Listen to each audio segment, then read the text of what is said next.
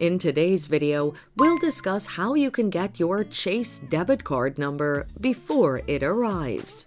Watch the video until the end to learn how to achieve this.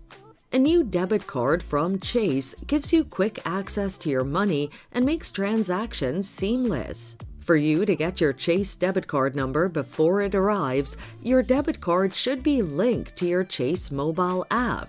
Since your debit card is numberless, a part of it is displayed on the app. You can check your Chase debit card number by doing the following. Open the Chase mobile app and sign in using your credentials. Click on the section labeled Bank Account.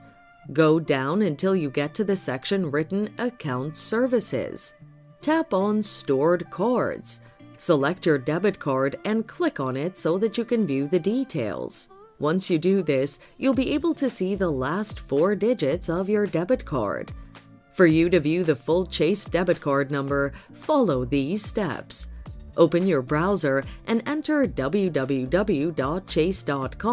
forward slash personal forward slash 4 hyphen u hyphen login. The link is in the description.